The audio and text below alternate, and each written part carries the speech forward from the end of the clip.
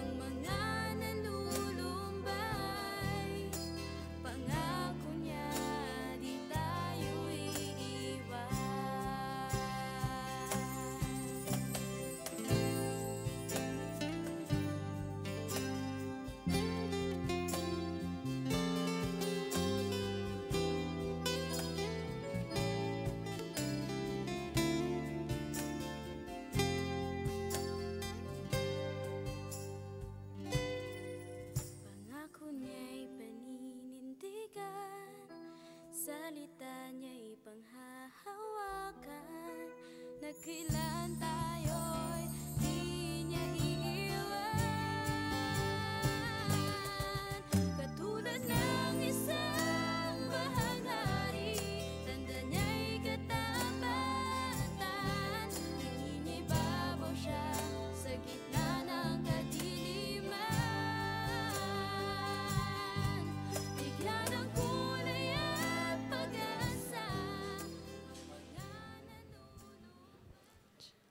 Good morning, Impact Church!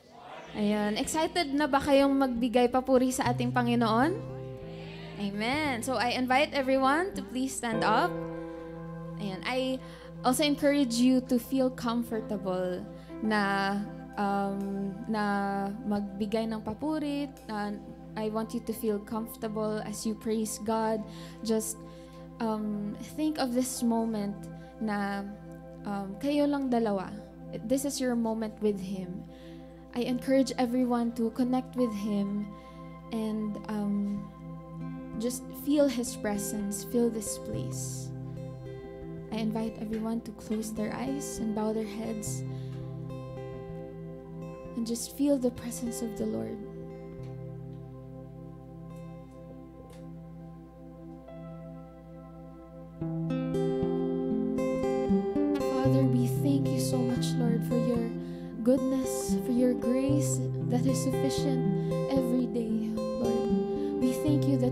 Us here safe. We thank you, Lord God, for this Sunday. We thank you, Lord, that we can praise you. We thank you, Jesus, for dying for us so that we can praise you, Father, so that we can come to you with all that we are.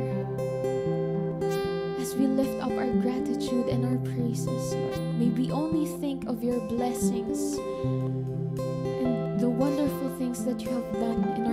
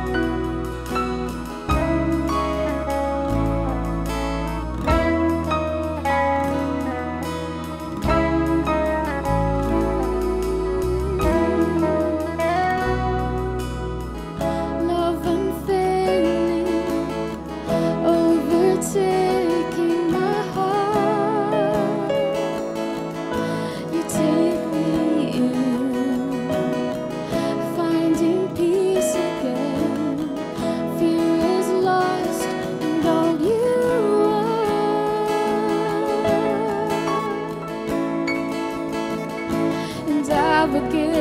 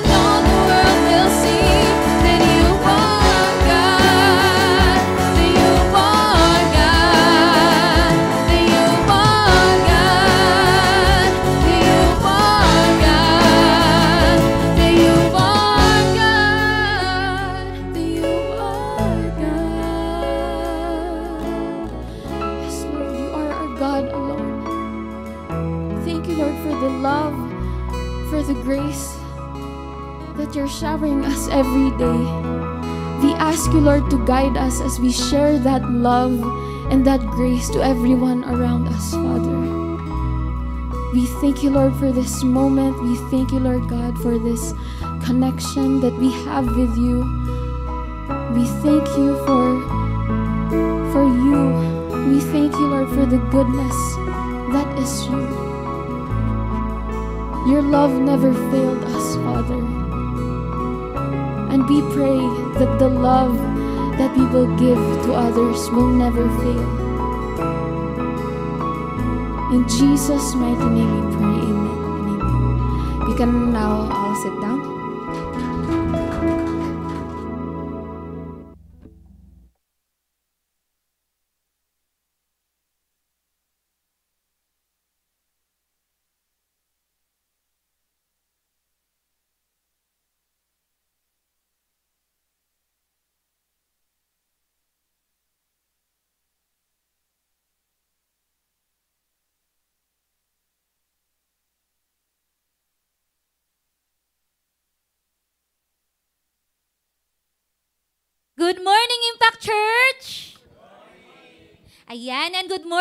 sa mga kasama natin nanonood online, especially ang ating mga kapatid sa ating Impact Church Kogyo. Good morning po sa inyo and hopefully na-enjoy nyo po ang ating sabay-sabay na pag-awit ng papuri at pagsamba sa ating Panginoon. And For today, we would like to welcome those na first time umattend ng ating Sunday service. So, unahin natin yung nasa Kogyo. Grabe, sa Impact Church Kogyo, laging merong first time and ang sipag po talaga nilang mag-invite. So, i-welcome po natin si Ate Rosela Taborite. Good morning po ate and we're so happy. Nakasama po namin kayo virtually na nagpupuri sa ating Panginoon. And of course, dito din po sa Impact Church Cubao, kasama po natin ngayon si Nel Jason Brodet, at si Marieta Daligdig. Good morning po and welcome to Impact Church. And of course, gusto rin po nating batiin ang mga magse-celebrate ng birthday. Simulan po natin today ang napaka-cute na anak ni Pastor, ni Pastor Jero at ni Nanay Becca, si Xavier James Cruz. Ngayon po ang kanyang birthday. Happy, happy birthday, Savi! And on March 24, si Sophie Bangkil. Happy, happy birthday, Sophie! And on March 25, ang napakatalinong si Renel Art Barceta. Happy, happy birthday, Art! And praise the Lord dahil sa lahat po ng ministry na ating nagawa this past week. So una na po dyan ng Youth Fellowship. Kitang-kita naman po kung gaano karaming kabataan ang matend ng Youth Fellowship last Sunday. And of course, every Friday po ang ating Region Fridays. Patuloy pong lumalago ang ating mga kabataang uma-attend dito sa ating Region Fridays. And Noong Friday din po ang ating Uplift Worship Night. And of course, kahapon po ang Malasakit Ministry sa Cubao Center at sa Kogyo Center. At kung makikita nyo po sa picture dito po sa Cubao Center, hindi lang po ang mga nanay ang uma-attend, pati po ang mga anak nila, kasama po nilang uma-attend at natututo ng salita ng Diyos. And praise the Lord dahil napakarami po nating volunteers na tumutulong po sa ating mga ministry. So for our announcements po, on March 19, ngayon po yan, ang mga hindi pa po officially member ng Impact Church, meron po kayong membership class after the worship service. So, interested po kayo na maging official na member ng ating simbahan, umaten po tayo ng ating membership class. And after the membership class, ang Shepherds Meeting. So, mga ka-shepherds, Huwag po tayong umuwi dahil may meeting po tayo after ng ating membership class. And on March 26, ang ating small group training right after the worship service. And of course, on March 21, se- March 31, sorry, 7 p.m. ang ating upper room. So please take note of the dates para po sabay-sabay po tayong manalangin sa ating Panginoon. And of course, on April 2, ito ang ating everybody's birthday! Ayan, meron pa po tayong dalawang linggo para mag-ready kasi 'di ba po ang lahat po ng ibibigay natin dito sa everybody's birthday ay mapupunta po para sa susunod na batch ng ating malasakit ministry. So that's all for our announcements. Ito pa po pala, sorry. Uh, meron po tayong piggy bank dito. Ayan, ito po ang ating piggy bank. Ito po ay para sa ating family camp para po tayo ay sabay-sabay na mag-ipon at mag-ready for our family camp. So, If gusto niyo pong magkaroon nitong piggy bank, ah, humingi lang po tayo kay Kuya Ryan mamaya right after the service. So magkano po ba ang kailangan nating ipunin para sa registration fee? So for 13 years old and up, full payment po tayo, 1,900 pesos. Pero po kung ang mga anak at ang mga kabataan ay may edad na 8 to 12 years old, half payment po tayo. So kalahati lang po ng 1,900 kung age 8 to 12 years old. Pag below 8 years old, libre po ang inyong mga anak. So kung gusto pong makakuha nito, hingi lang po kay Kuya Ryan right after the service. Okay? So for those na member ng Malasakit Ministry, adult and kids, maximum of 4 persons po, 500 pesos per head. At kung mag-exceed po ng 4 persons, regular full payment po. Okay, so that's all for our announcements. So as we worship God through giving His tithes and offerings, let us, uh, let us first read what is written in 2 Corinthians chapter 9, verses 6 to 8. The point is this whoever sows sparingly will also reap sparingly, and whoever sows bountifully will also reap bountifully. Each one must give as he had decided in his heart, not reluctantly or under, under compulsion, for God loves a cheerful giver. And God is able to make all grace abound to you, so that having all sufficiency in all things at all times, you may abound in every good work. So, Impact Church, let us now give God tithes and our offerings.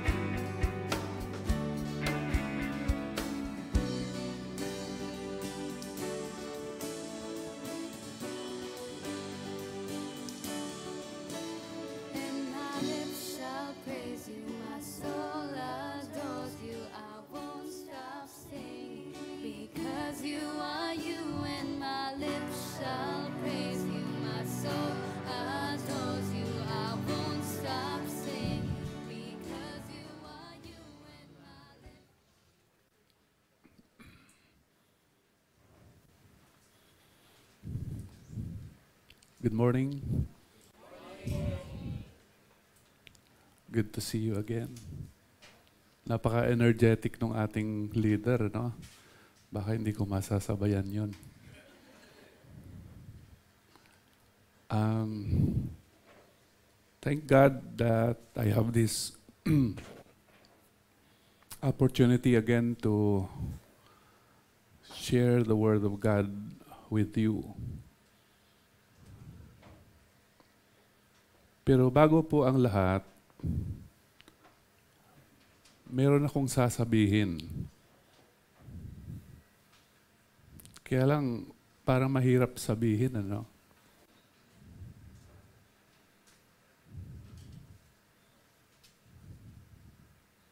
Ako ay magpapaalam na.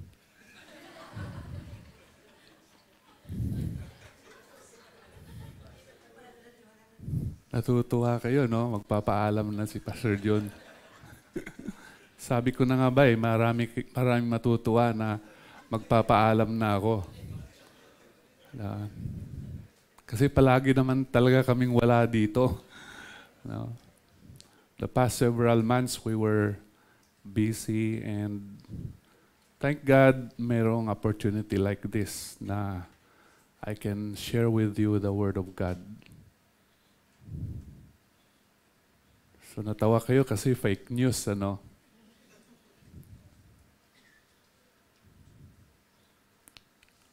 Kung totoo kaya yung paalam ni Pastor Jero, ano kaya nangyari last Sunday? Mag-iiyakan. No? Sa akin, natuwa kayo eh.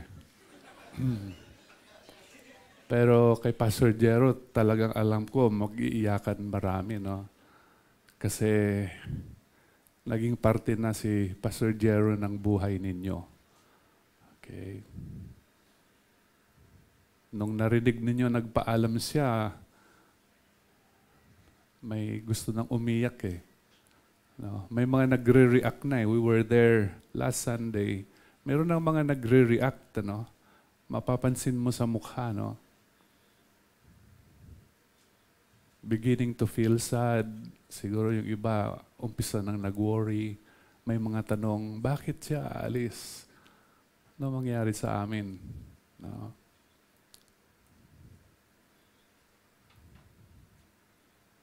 Buti na lang, hindi totoo. Pero alam niyo, in the case of Jesus Christ, when He said, I am going, I am leaving, totoo yun. Totoo yun. No? And you can just imagine kung ano yung naramdaman ng mga disciples at that time. When Jesus started telling them that in a little while I will be arrested and eventually will be crucified. Mabigat yun para sa mga disciples, hindi ba? But anyway, uh, napakaganda ng message ni Pastor Jero last Sunday, ano? And my message today is, I think, just a continuation of the message na meron si Pastor Jero noong Sunday. I hope ma-sustain ko rin yung momentum, ano? Kasi ang ganda ng message na yon.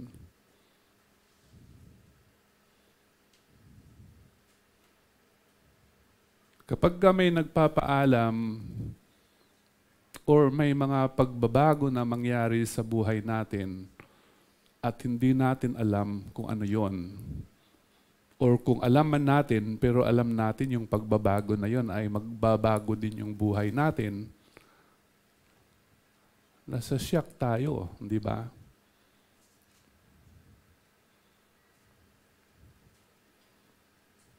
And habang anaantay natin yung mga magbabago at alam natin na magkaroon ng impact sa buhay natin, we agonize, no? Yung anticipation of something that will happen, something bad especially that will happen. We agonize. We hope sana hindi mangyari. We hope sana hindi totoo. And just to think about it, kahit hindi pa nangyayari, does not feel okay. Di ba? Ayaw ko ng ganitong feeling. Mabigat sa pakiramdam. Parang every day of your life, you're robbed of the joy.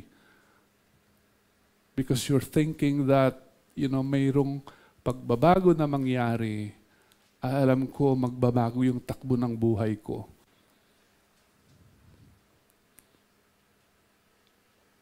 I don't know if you're familiar with the word or phrase winds of change.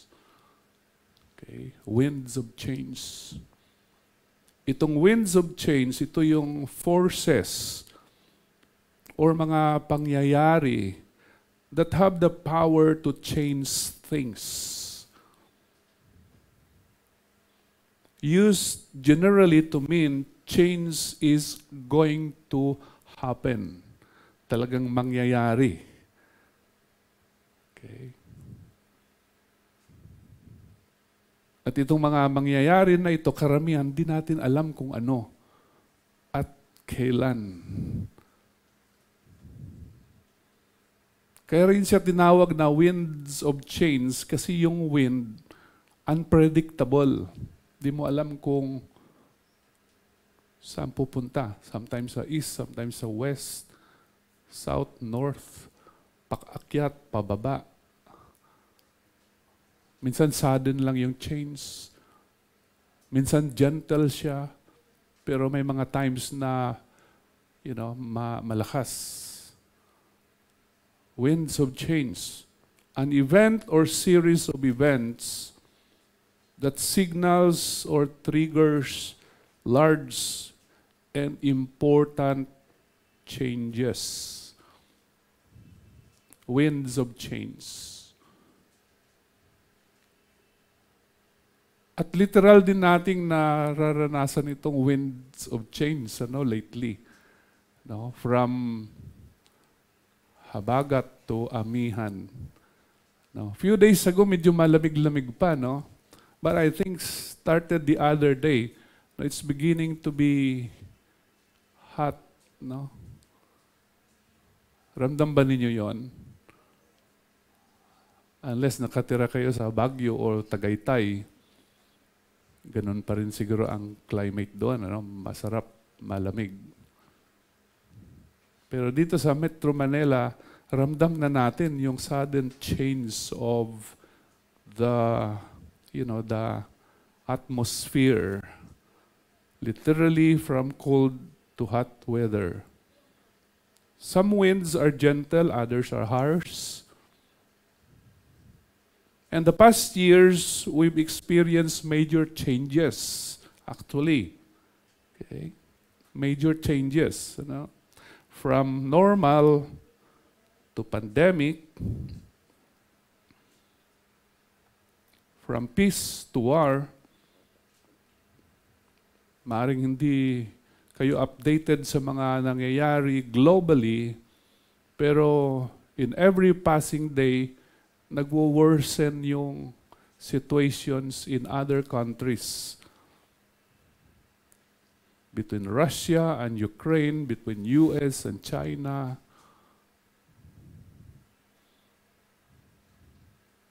It's worsening and it's very alarming.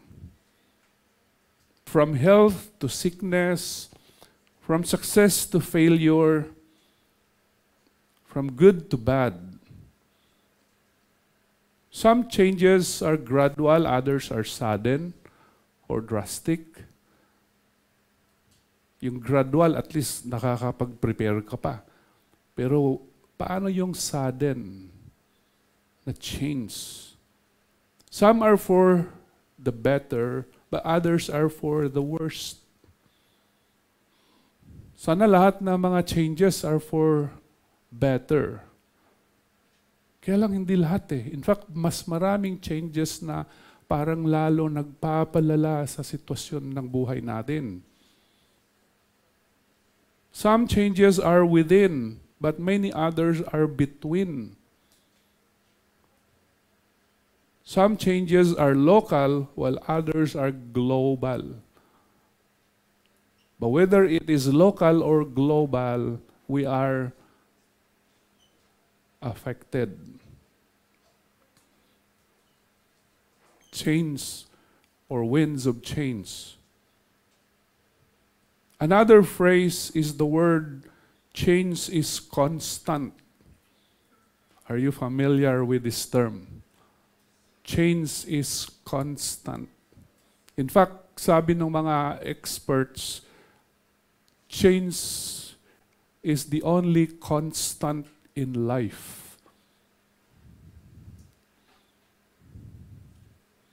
Change is the only constant in life. Meaning, change is continuous. Hindi pwedeng pareha lang sa dati. Hindi mangyayari yung ganon. Kahit yung edad natin, nagbabago. Hindi pwedeng pigilin yung change. It naturally occurs. Wala tayong control.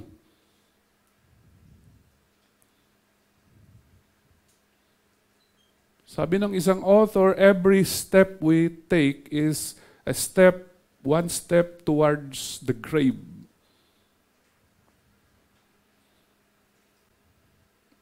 So change is constant, continuous, endless, relentless, persistent.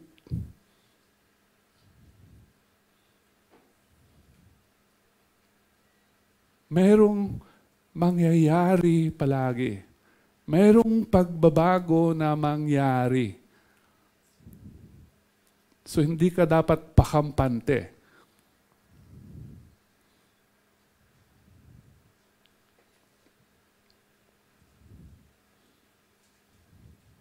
Hindi man mangyari sa atin, pero may mangyari sa kasamahan natin, sa mga mahal natin sa buhay.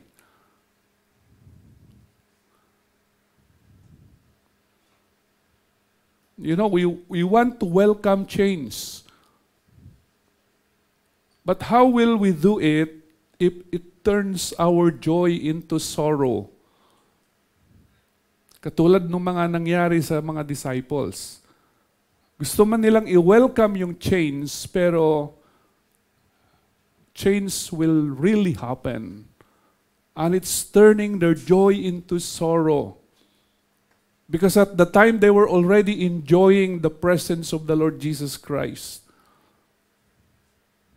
And suddenly, they will hear Jesus saying, I'm going.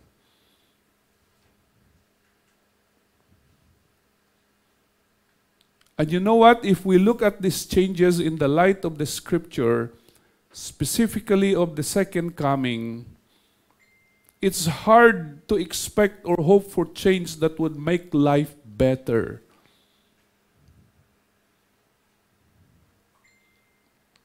Bakit? Kasi sabi sa scriptures, you know, there will be rumors of wars. As we as the day is drawing near of the second coming of Christ, the Bible is warning us don't expect that you know, it will become better. In fact, palala ng palala yung mga mangyayari. And these changes, particularly the negative ones, have the potential to fill our eyes with tears. Not tears of joy, but tears of sorrow.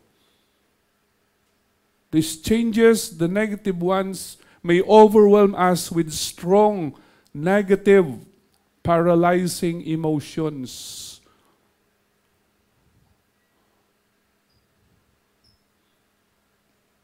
Fear, anxiety,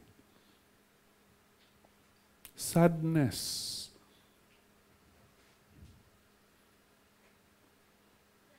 It will bring us down. It will erode our faith or crush our hope. Makes us wonder and ask the why questions. Katulad ng mga prophet sa Old Testaments. Why is this happening? Why are you allowing these things to happen? I thought Christian life is, you know, a you know a walk in the park. Or I thought Christian life is like lying on a bed of roses.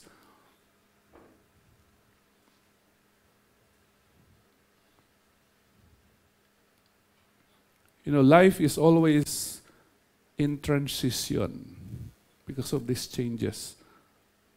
And along the way, we can be lost in that transition.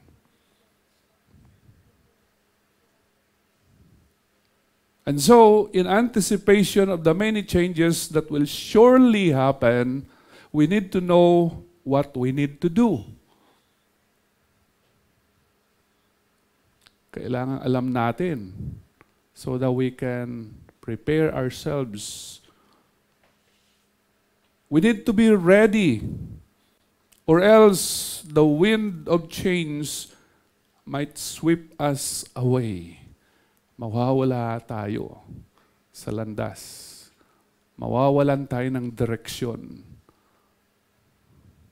mawawalan tayo ng pag-asa, masisira yung buhay natin, ma-overwhelm tayo sa nangyayari, and it will affect us personally. So my proposition this morning is this. We need to know where we are anchored upon. We need to be reminded kung kanino tayo nakasandal at saan tayo huhugot ng lakas para anuman ang mangyari, tayo ay, you know, tayo ay patuloy natatayo at maglalakad. We need to be firm. We need to be grounded on a solid ground. We need to have this firm foundation so that whatever will happen, ano man yung mga pagbabago na mangyari sa buhay, ay patuloy tayong nakatayo. In John chapter 15, 9 to 17,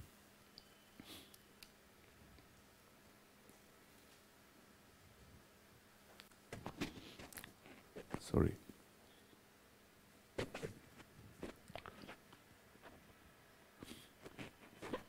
Nine to seventeen. Sabi dito, as the Father has loved me, so I have loved you. Abide in my love. If you keep my commandments, you will abide in my love. Just as I have kept my Father's commandments and abide in his love. I have said these things to you so that my joy may be in you and that your joy may be complete. This is my commandment that you love one another as I have loved you. No one has greater love than this, than to lay down one's life for one's friends. You are my friends if you do what I command you. I do not call you servants any longer because the servant does not know what the master is doing. But I have called you friends because I have made known to you everything that I have heard from my Father. You did not choose me, but I choose you. And I appointed you to go and bear fruit, fruit that will last, so that the Father will give you whatever you ask Him in my name. I am giving you these commands so that you may love one another. Today's text comes from the time after Jesus was the feet of the disciples and before he is handed over to the authorities for crucifixion. So napaka-crucial na moment ito sa life ni Jesus, sa history ng Christianity. Sensing and knowing the imminent change and in this case, the death of our Lord Jesus Christ, the disciples began to feel anxious. Some were confused, perplexed, and again, the feeling is not really okay.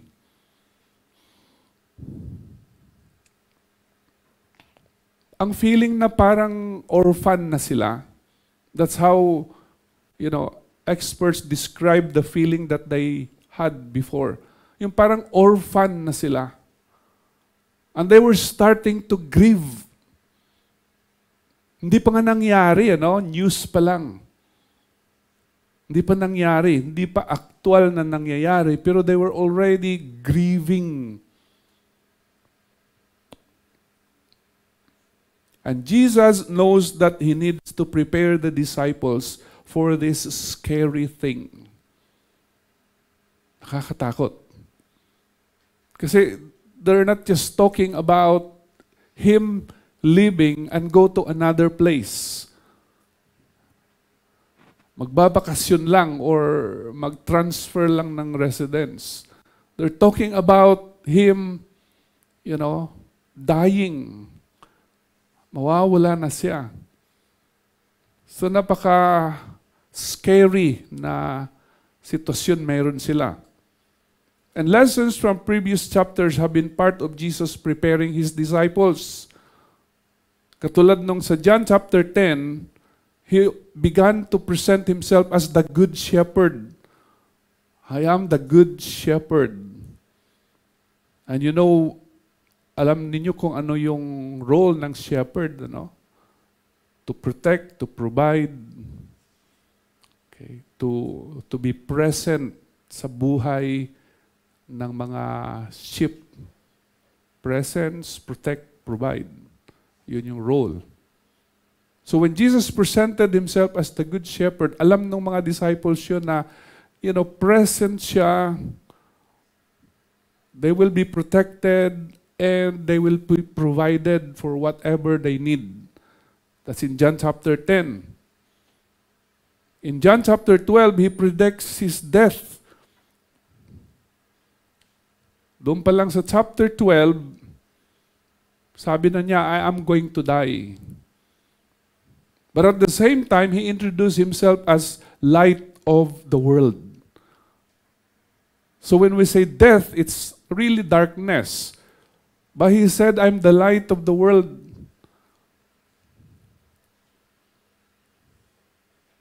And in John chapter 13, he predicts Peter's betrayal.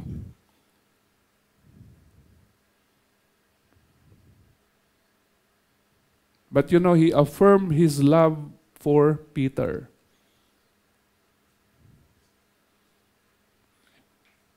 Yes, I will die, and you will be the instrument of my death because you will betray me.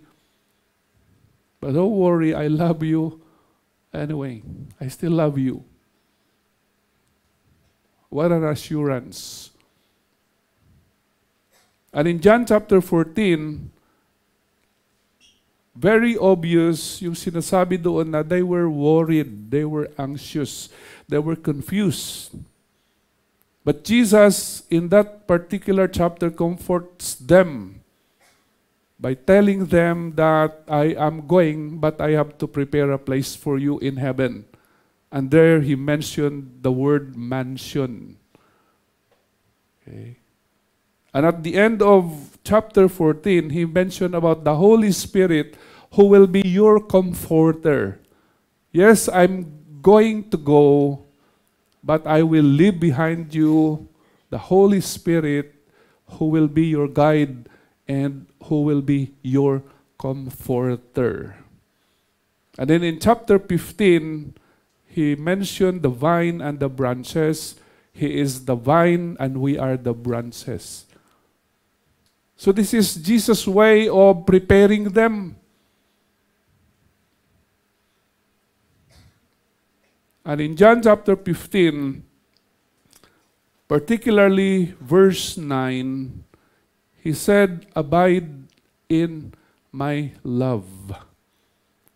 Abide in my love. There are two important words that I want to expound and highlight this morning. And these two words are first the word love, and second the word abide. Abide. In verse 9 says there, the Father, as the Father has loved me, so I have loved you.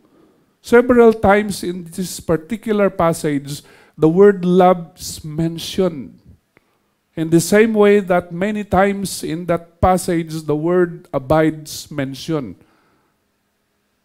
Kaya gusto kong mag-focus dito sa dalawang words kasi ang principle as far as the Bible is concerned, when a particular word is being mentioned several times or repetition, ang ibig sabihin napaka-importante nito.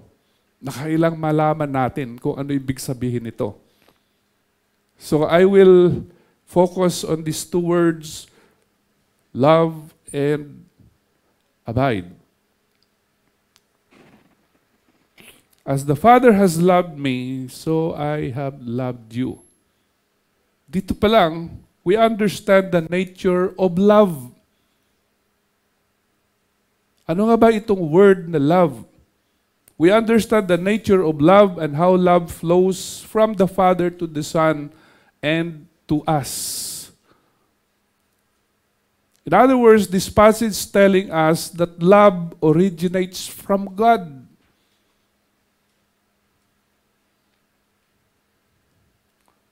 It's from His own heart. And from that love we received. And we are now able to share that love with others. So if we know that God loves us so much, and that love is sacrificial, unconditional, and eternal, then it feels good to know that we are loved. Makes us feel secure. I am loved by God. So that in whatever situation I am in, I know that He loves me and I know that this love is unconditional. Even if I sin against God, you know, that love will still remain. In other words, in whatever situation we are in,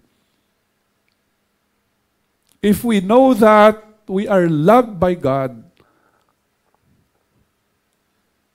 it addresses our feelings of fear and anxiety. From feeling unstable to become stable, knowing that, you know, we have this love. I have this love from God. In verse 10, it says, If you keep my commandments,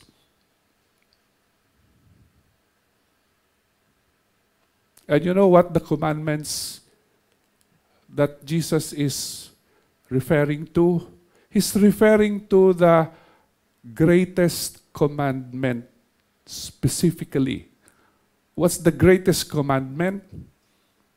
The greatest commandment is love the Lord your God with all your heart, with all your soul, with all your mind, and with all your strength.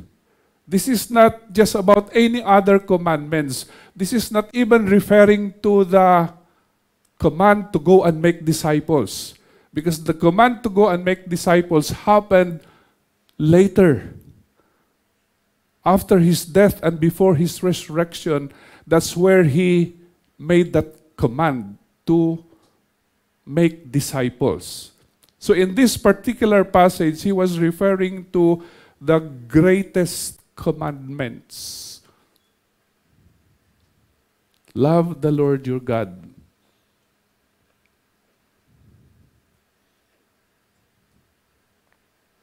So if we keep the commandments, ibig sabihin noon, we abide in His love.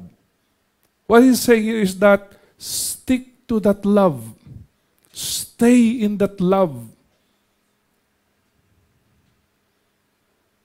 Because no matter what will happen, if you stick to that, if you obey that, if you love me with all of your heart, with all of your soul, with all of your mind, whatever's going to happen around you, it will not make you worry. It will not make you anxious about the situation. If we keep the commandment, we abide in His love. And if we keep the commandment, it brings a feeling of complete joy. Because we know that we are truly loved. We're not doubting. So it gives us that feeling of complete joy.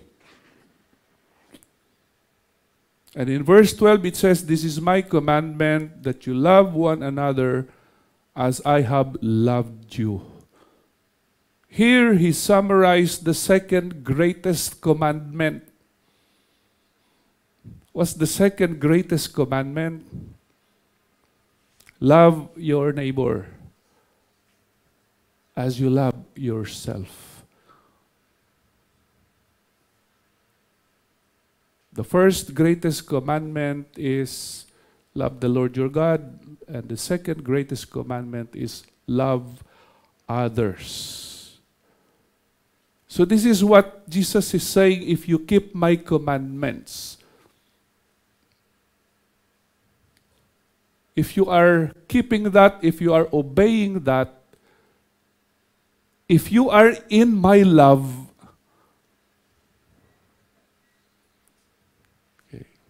if you are in my love, you'll be okay.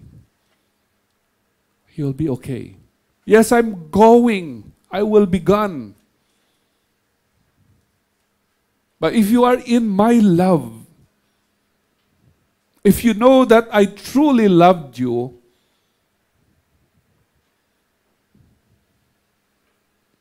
hindi ka matitinag. Ano man yung mangyari.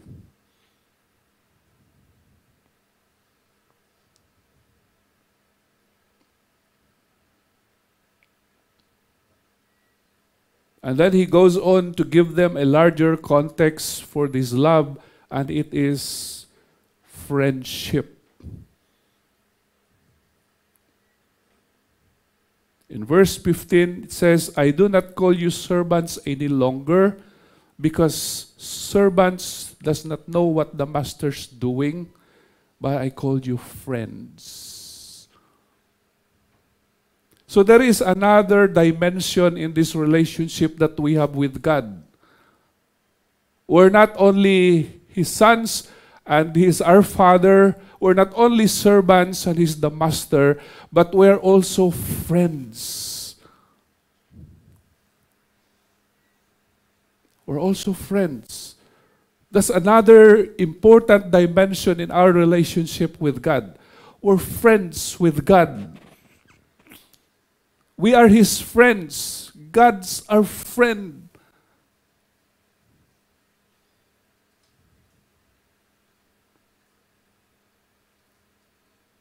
You're standing where I am standing.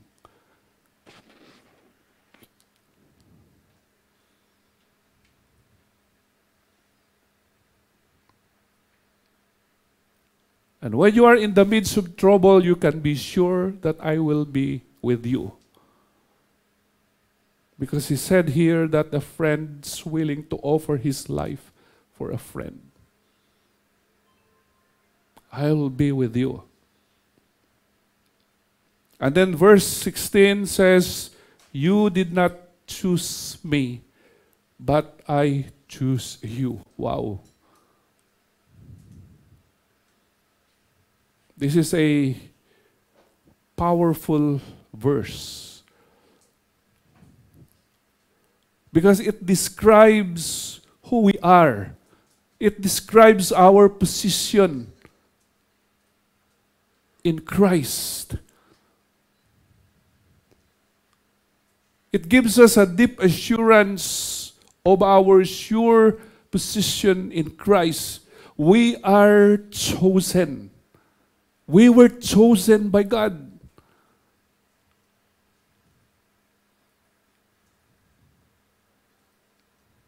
Sarap sa pakiramdam, di ba, na pinili tayo ng Panginoon.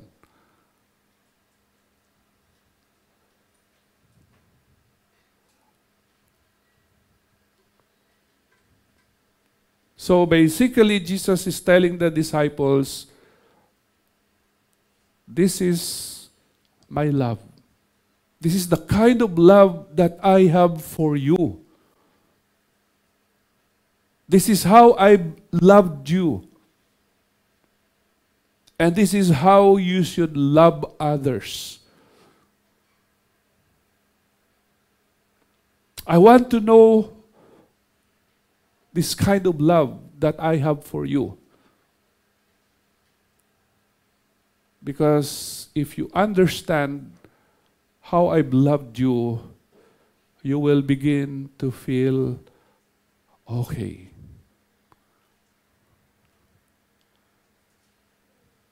You will begin to feel okay. And you will begin to understand why I'm going away.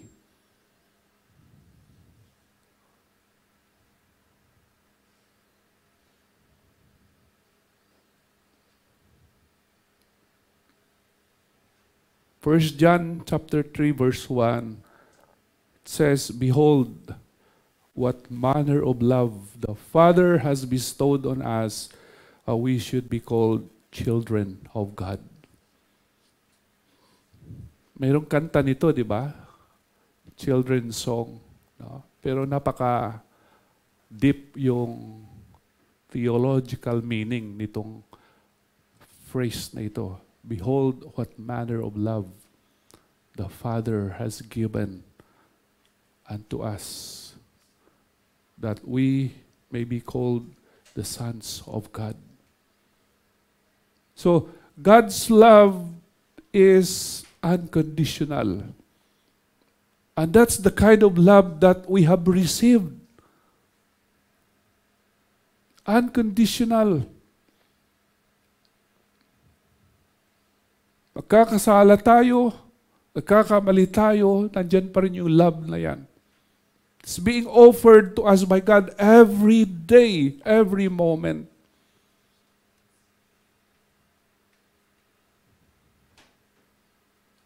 Ano man yung pinagdadaanan natin sa buhay, nandyan yung unconditional love.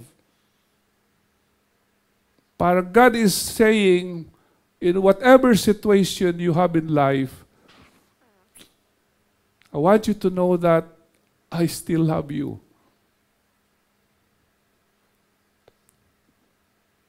It will not change. God's love is sacrificial. He's willing to offer anything for our own good, for our own sake. Sacrificial. And this love is eternal.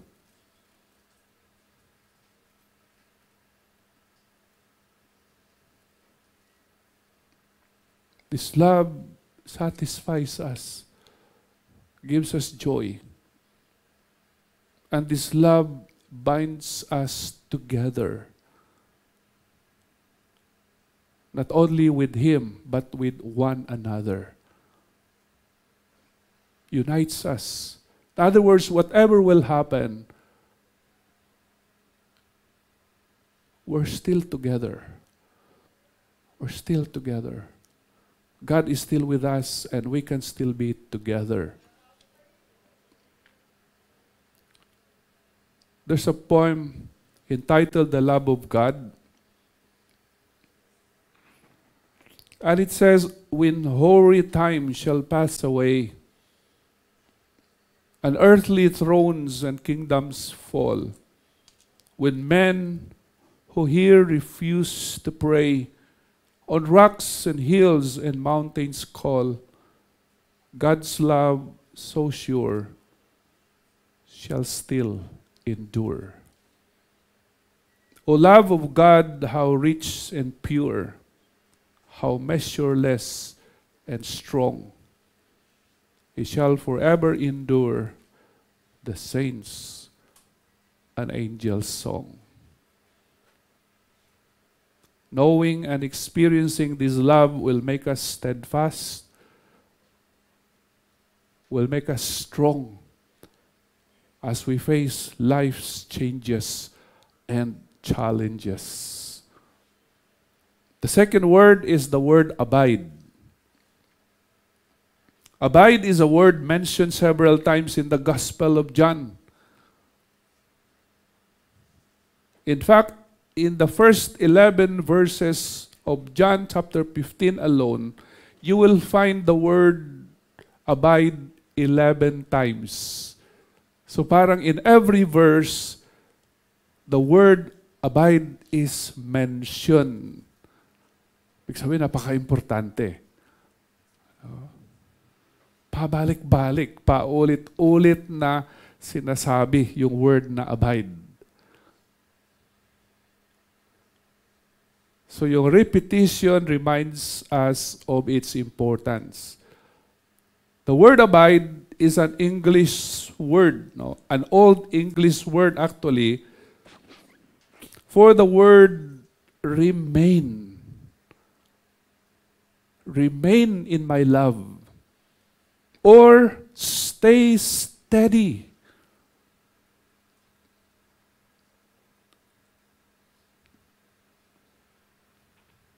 Steady ka lang. Keep your position. Keep your position.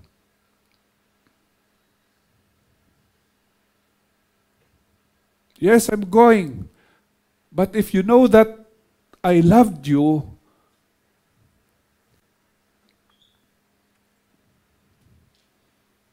and you can abide in that love, hindi ka matitinag.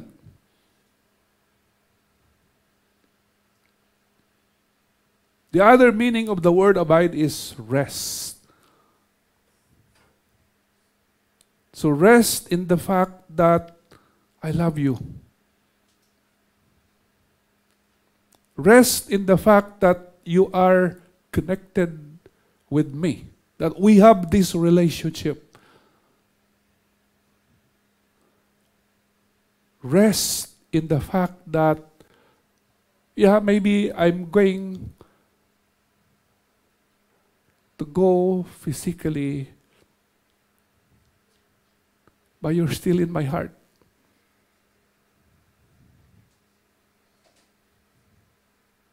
And my love for you has no barrier, no boundary.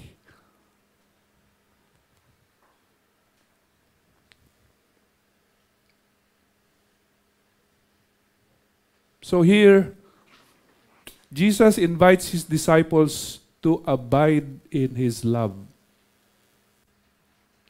Okay? From chapter 10 to chapter 15, especially the first part,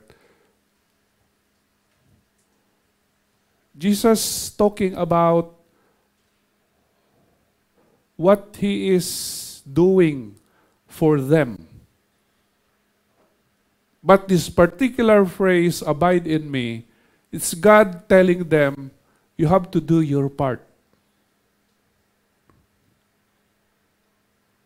Abide in my love. Abide in my love. I'm doing my part. I've done it already, actually. All you have to do is stay, remain. All you have to do is know and stay and remain. Because if you will do so, it will make you feel safe and secure. It will give you the assurance that, you know, it's gonna be okay. Trust me. It's gonna be okay.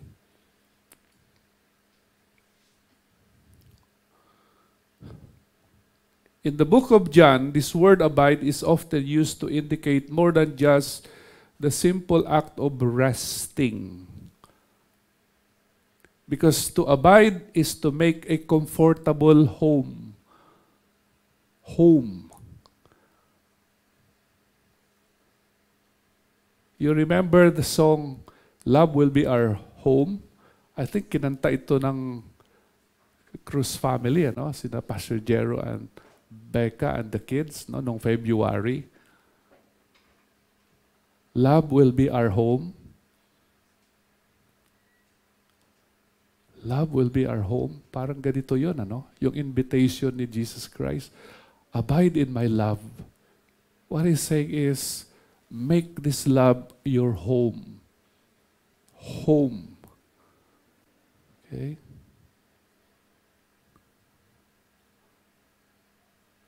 Feel at home in my love.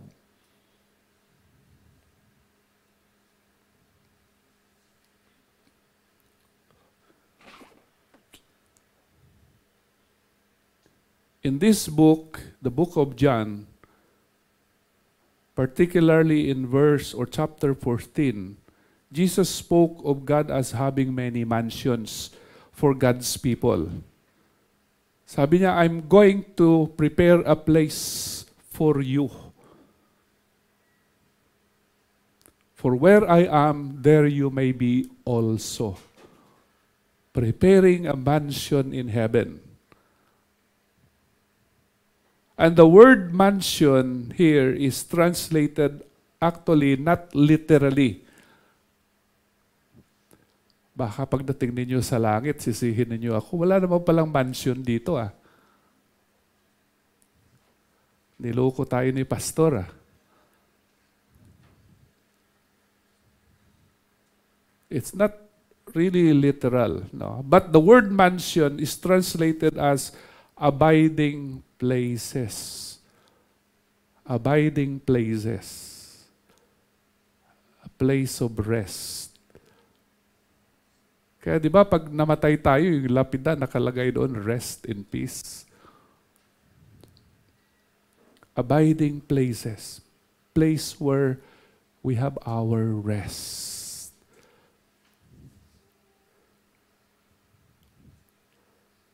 So when Jesus said, Abide in my love, He's saying that be at home in my love. Because in my love, it's a place where you will begin to feel safe and secure and comfortable.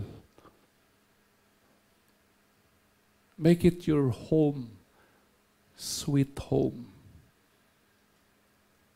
Home, sweet home.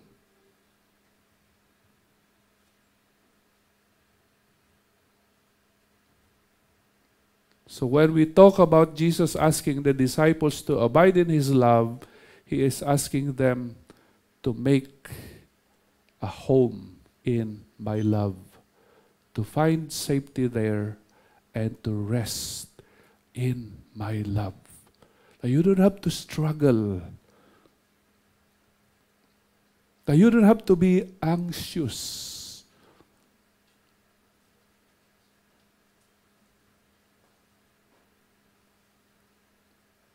I want you to be calm. No. If you stay there.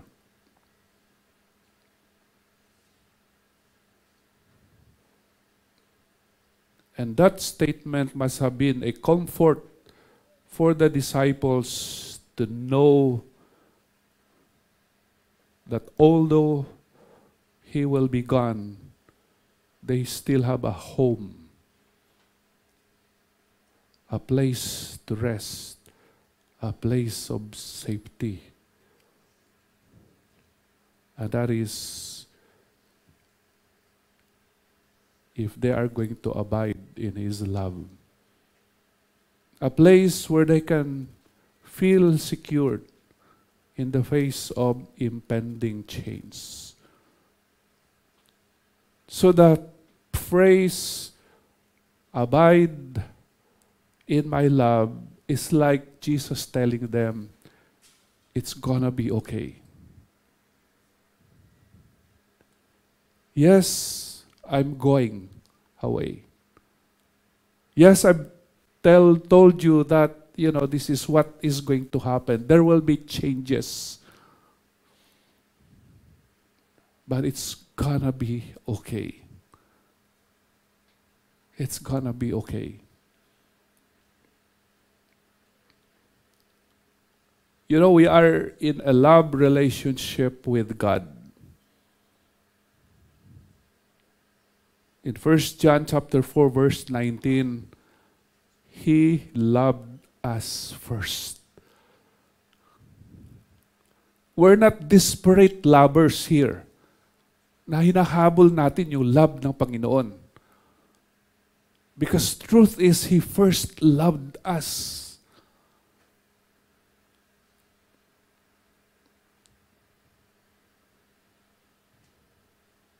In Ephesians chapter 3, verse 18 to 19, it says, God's love is this wide.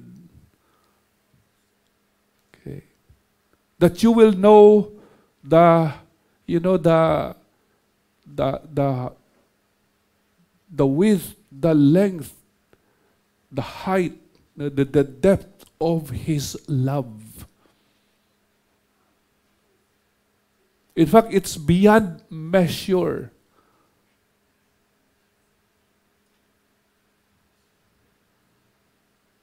And in Romans chapter 8, verse 38 to 39, says there, nothing can separate us from the love of God.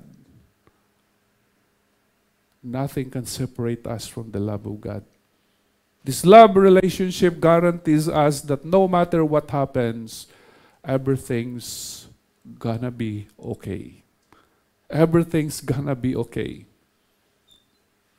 So, Jesus invites us to abide in His love, to live in His love, make it our home, enjoy it, feel safe and secure with it, to rest and even to heal, to recuperate when you are stressed, when you are wounded, allow that love to heal you.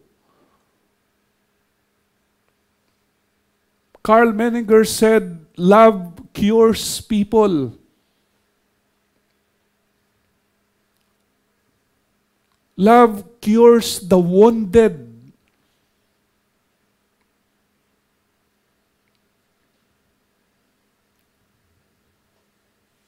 He invites us to draw from Him that love so that we can love others the same. When we are being blown by the winds of adversities, we abide in His love. When we encounter our enemies, we turn to the love of Jesus. And when we face challenges and threats, we abide in His love.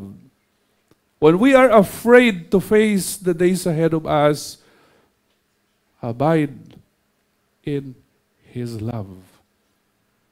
Abide in His love.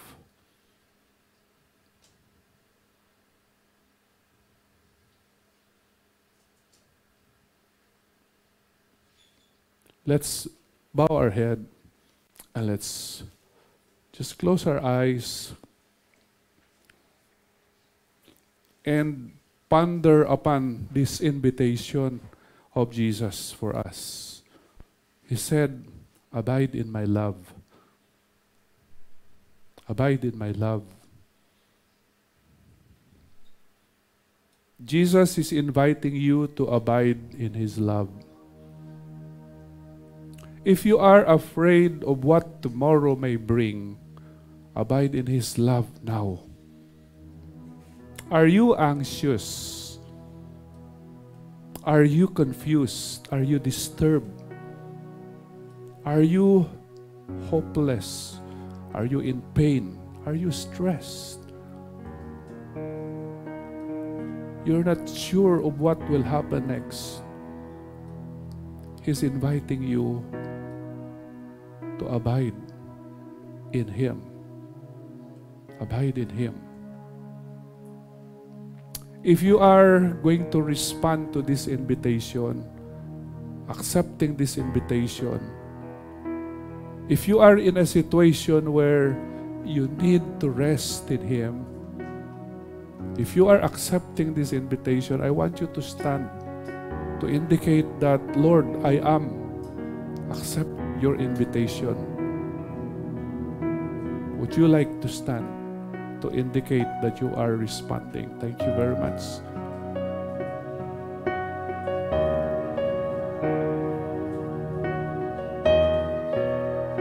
It looks like all of us, we need rest. We need rest. We need to experience that in Him we are safe, we are secured. That we are truly loved by our Heavenly Father.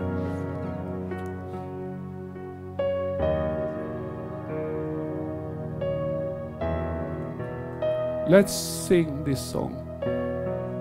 Abide with me. Let this be our prayer this morning that we will abide in Him. That we will respond to His invitation Abide in my love.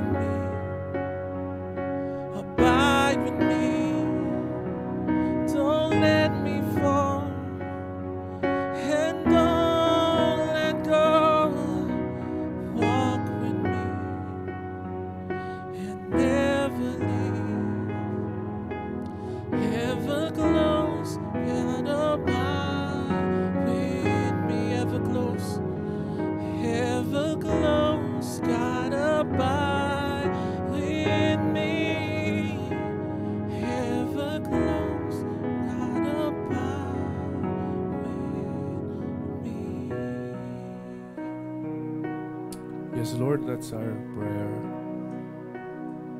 Abide in us. In fact, it's just our response because it's you who is actually inviting us. It's you who have already provided that relationship, that place where we can feel safe and secured, how we can rest. Thank you, Lord, that today you have prepared us for what lies ahead. We do not know what tomorrow may bring. There will be changes, and we're sure of that. Although we want positive changes, but we do not have control of these changes. But we can prepare ourselves today by abiding in your love. So thank you, Lord, for that love. Thank you for truly loving us despite our sins, our weaknesses, our disobedience. You have loved us first.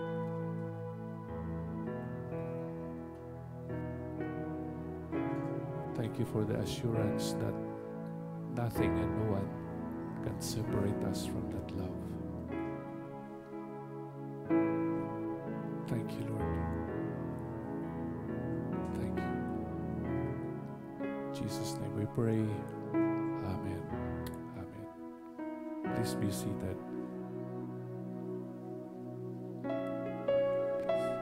Before I'll go,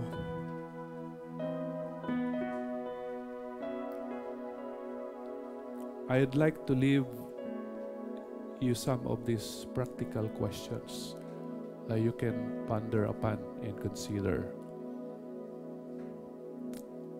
How's your home? The literal home. Yung tahanan.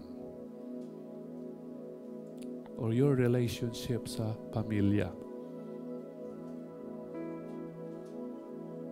How's your marriage? Is it a place or a relationship where God's love is? Is it a place where it's easy for every member to stay, to abide?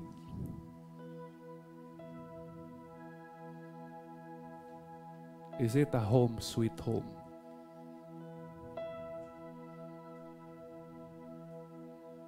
Somebody said a home is a safe harbor in stormy times. Home is a haven where we flee to escape the press of life and find rest, companionship, and peace.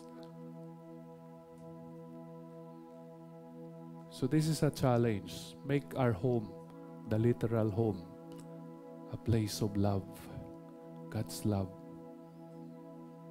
where every member finds rest and companionship. John Howard Payne said this Amid pleasures and palaces, though we may roam, be it ever so humble, there is no place like home. There is no place like home. I'd like to challenge the parents, especially establish a home where God's love is, a home where everyone will have that experience of peace, rest, security, and safety. God bless you.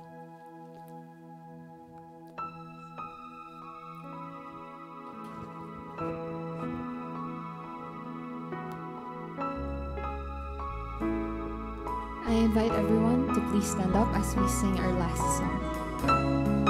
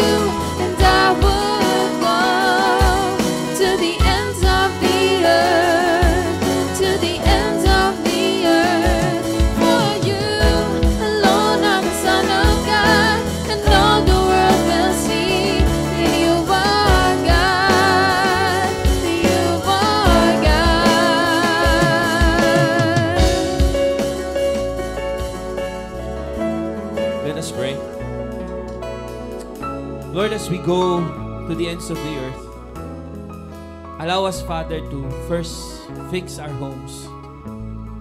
That our homes will be a resting place of your love. That our homes, Lord, will be a place, Lord, where your abound, your love abounds so much. that our homes, Father, will be a place, Lord, that shows forth ever lasting love that you have for each one of us. It starts with us, Father. So allow us, Lord, in whatever situation, anuman po yung kinakaharap ng bawat isa ngayon dito na nakikinig sa amin.